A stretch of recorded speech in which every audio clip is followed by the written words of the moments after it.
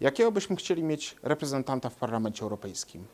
Na pewno powinien mieć dwie cechy: przygotowanie i ideowość. Profesor Zdzisław Krasnodębski jest osobą świetnie przygotowaną do pełnienia tej roli. To osoba znająca języki, profesor, osoba, która świetnie zna mentalność ludzi na Zachodzie i potrafi z nimi rozmawiać. Jednocześnie profesor Zdzisław Krasnodębski jest głębokim polskim patriotą, osoba, osobą, która chce dobrze dla Polski, walczy o interesy Polski, traktuje Unię Europejską jako miejsce realizacji polskich interesów. Y, Profesor Zdzisław Krasnodębski, numer jeden na warszawskiej liście, jest bardzo dobrym kandydatem do Parlamentu Europejskiego.